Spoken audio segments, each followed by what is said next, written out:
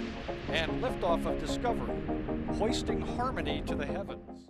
Hello everyone, today we are taking a look at Firefly's next orbital test flight.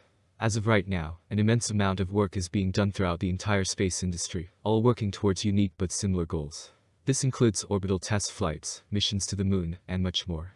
Firefly Aerospace is one of these companies, and has been staying very busy over the past few months in preparation for its second orbital test flight of Alpha.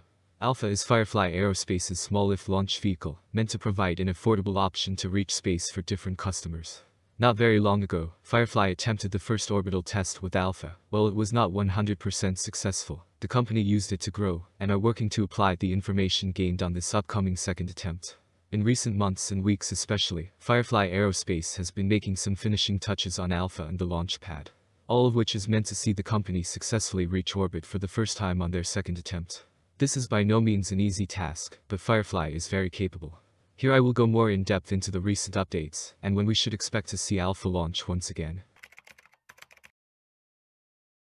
As Firefly Aerospace gets closer to its long-awaited second orbital test flight, the different jobs and preparations continue to present themselves. A rocket launch is an immensely complex process, not to mention the difficulty of reaching orbit for the first time.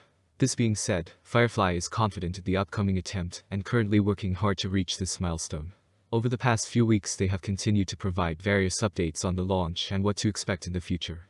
One of the first substantial updates they provided had to do with testing of alpha stages. They tweeted saying, the Firefly team is laser focused on reaching orbit this year.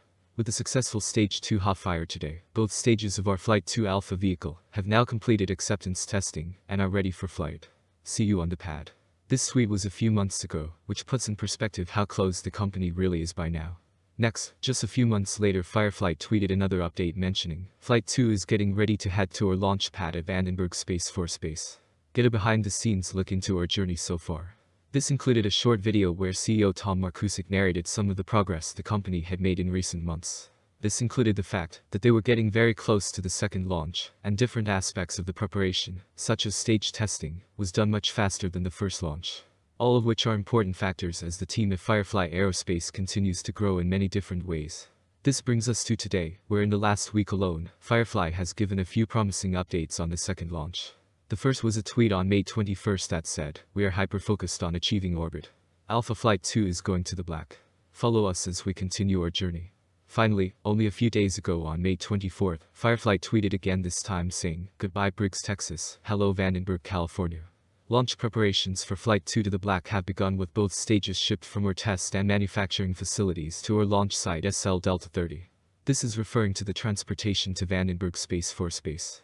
Specifically, Firefly conducts polar and SSO launches to high inclinations from SLC-2 at Vandenberg Space Force Base, California. This site can support launch azimuths from 140 degrees to 260 degrees, and was the location of Firefly's first attempt.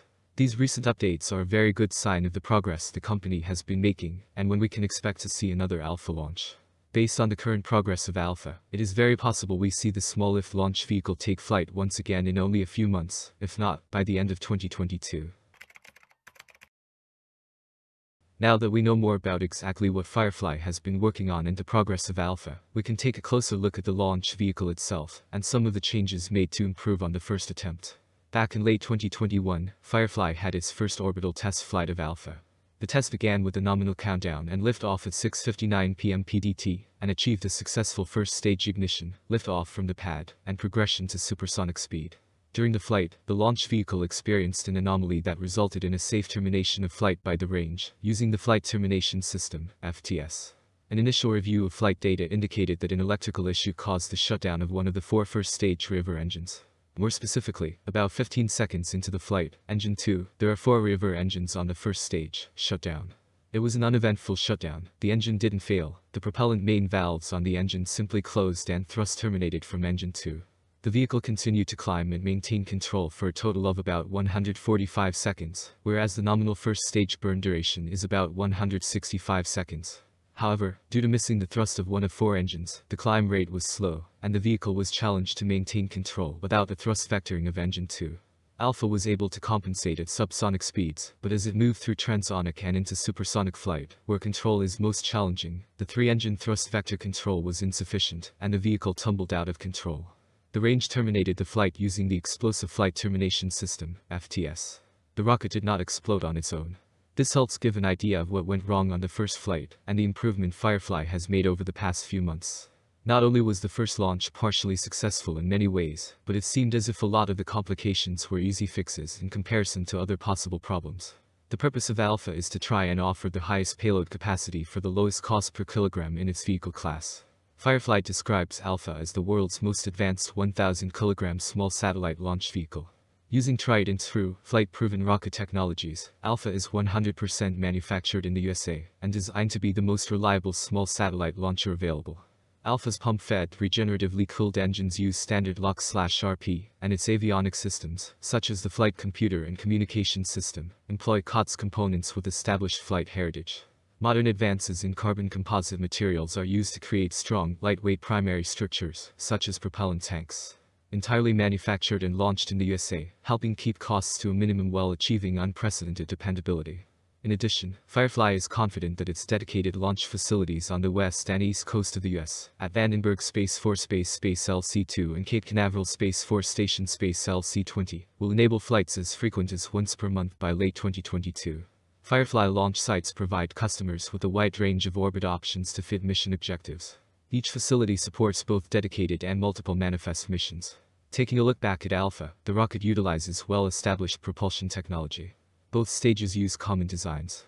Copper regen-cooled LOX slash RP1 thrust chambers, a simple tap-off cycle that drives single-shaft turbopumps, nozzle-mounted turbine exhaust manifolds, and hydraulic actuators. Innovations in Firefly engines include their simple crossfire injector, tap-off geometry, dual-mounted electrically actuated, trimmable propellant main valves, and ultra-compact horizontal turbopump mounting. The upper stage engine, Lightning, includes a turbine exhaust-cooled refractory metal high-area ratio nozzle extension. The first stage Reaver engines feature simple single-axis gimbaling. Consistent with the overall Alpha vehicle design, cost and performance are traded and optimized in Lightning and Reaver components to provide the best payload performance value. Firefly also utilizes advanced carbon fiber composites for the entire airframe of Alpha, including the state-of-the-art linerless cryogenic propellant tanks. Composite materials are ideally suited to launch vehicle structures due to their high strength, low density, and tailorable material properties. This allows Firefly Alpha to lift heavier payloads than a similar metal rocket, all of which combine into a new rocket trying to establish itself in the ever-growing space industry. Many different companies throughout the space industry are working on new and ambitious projects of the future. This includes a lot of firsts and never before tried features, structures, manufacturing processes, and much more. Firefly Aerospace is a good example as they work to reach orbit for the first time ever. In late 2021 the company had its first attempt. Since then, they have been continuing to work towards the second flight providing updates along the way. We will have to wait and see how it progresses and the impact it has on the space industry. Thank you very much for watching.